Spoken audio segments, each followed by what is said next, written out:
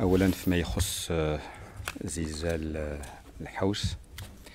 يمكن نعطيكم بعض آه، بعض الأرقام. هناك تقريبا واحد آلف و صوت. آه. هناك تقريبا واحد آلف وخمسين مؤسسة تعليمية اللي هي كانت زعما كاين تقاصت متضررة. تقريبا واحد ستين اللي هي منهارة.